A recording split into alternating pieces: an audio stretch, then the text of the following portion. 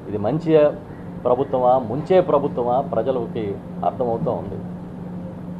మీరు విస్మరించిన ప్రజా సమస్యల్ని ఒక ప్రతిపక్ష పార్టీగా వైఎస్ఆర్ పార్టీ విస్మరించదనే విషయాన్ని కూడా ఈ సందర్భంగా నేను చెప్తా ఉన్నా. ఎందుకంటే మీరు పట్టించుకోక మేము పట్టించుకోకపోతే ఈ రాష్ట్ర ప్రజలకి అన్యాయం చేసిన వాళ్ళు అవుతాం.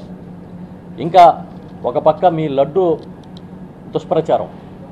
తిరుమల ప్రసాదంలో జంతు కొవ్వులు కలిశాయని మీరు చేస్తున్న దుష్ప్రచారాన్ని తిప్పుకొడుతూనే ప్రజా సమస్యల పట్ల నిబద్ధతతో ఈ వైఎస్ఆర్ పార్టీ ముందుకు కదులుతుందని ఈ సందర్భంగా చెప్తూ ఉన్నా. హై కాన్స్టిట్యూషనల్ అథారిటీగా మీరు బాధ్యతతో ప్రవర్తించాలని మేము కోరుకుంటూ ఉన్నాం. ఇవాళ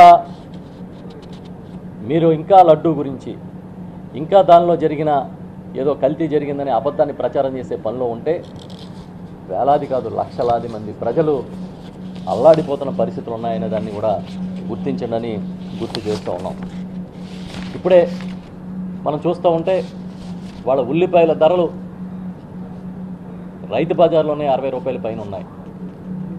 డెబ్బై ఐదు రూపాయల వరకు కేజీకి బహిరంగ మార్కెట్లో పలుకుతూ ఉన్నాయి. ఇరవై ఐదు కేజీల బియ్యం బస్తాకి సుమారుగా నూట యాభై నుంచి రెండు వందల రూపాయల ధర పెరిగిందని చెప్తూ ఉన్నారు.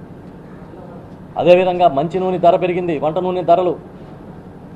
ఇతర నిత్యావసర వస్తువుల ధరలు పెరిగాయి. ఇవన్నీ కూడా ప్రజల మీద భారం పడుతున్నా కూడా కనీసం ఇటువైపు మీరు తొలగి చూడడం లేదు.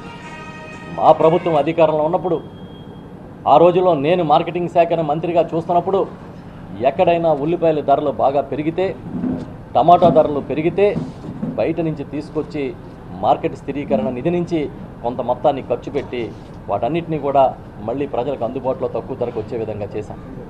అదేవిధంగా ఎక్కడైనా ధరలు పడిపోతే ప్రభుత్వమే ట్రాన్స్పోర్ట్ పెట్టుకుని మళ్ళీ రైతుల నుంచి ధర నిలబడే విధంగా చూసి దాన్ని వేరే మార్కెట్లకు పంపించి విక్రయించిన సంఘటనలు ఉన్నాయి.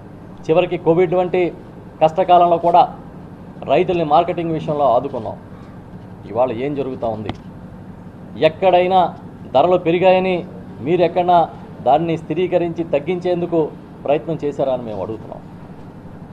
ఎందుకు మీరు ఇవన్నిటిని కూడా నిర్లక్ష్యంగా చూస్తూ ఉన్నారు? ఇవి సమస్యలుగా మీకు కనిపించడం లేదా? ఇదే కాదు ఇసుక గురించి.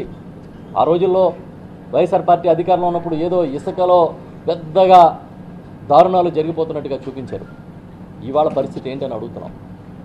ఇసుక దొరక్క దొరికిన చాలా అధిక ధరలకి కొనుక్కోవాల్సిన పరిస్థితిలో ఎక్కడికక్కడ భవన నిర్మాణ పనులు కూడా ఆగిపోయిన విషయం వాస్తవం కాదా అని అడుగుతున్నాం. భవన నిర్మాణ కార్మికులు పనులు లేక అల్లాడిపోతున్న పరిస్థితి నిజం కాదా అని అడుగుతున్నాం. నిన్ననే సోషల్ మీడియాలో చూసా ఈ శాండ్ సంబంధించి ఒక రిసీట్ తిరుగుతూ ఉంది. దాంట్లో తొమ్మిది వేల రెండు వందల డెబ్బై ఆరు రూపాయలు ట్రాన్స్పోర్ట్ కింద చూపించారు. మొత్తం విలువేమో పదహారు వేల ఆరు వందల నలభై రూపాయలు చూపించారు. మరి తొమ్మిది వేల మూడు రెండు వందల డెబ్బై ఆరు రూపాయలు ఇసుక ట్రాన్స్పోర్ట్ ధర అయితే మిగతా మొత్తం ఏంటది? ఏ బాబుతో కనీసం ఆ రిసీట్లో లేదు. ఎవరికి వెళ్తుంది ఈ బాబుతంతా దేని నిమిత్తం మీరు వినియోగదారుడి దగ్గర వసూలు చేశారు? ఇప్పుడే నాకు వేరే పెద్దలు చెప్తా ఉన్నారు నాయకులు.